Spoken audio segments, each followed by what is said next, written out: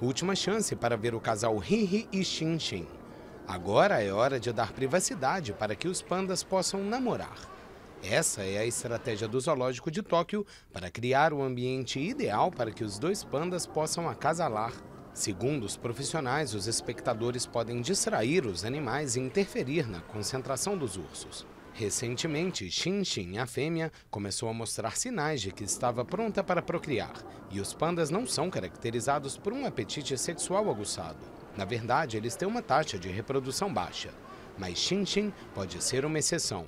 Ela já deu à luz em 2012 ao que foi considerado o primeiro panda gigante nascido em um zoológico em 24 anos. O filhote, porém, morreu pouco tempo depois em função de uma pneumonia. A expectativa é de que esses últimos dias de paixão entre o casal de pandas sejam celebrados com a chegada de um novo membro do Zoológico de Tóquio.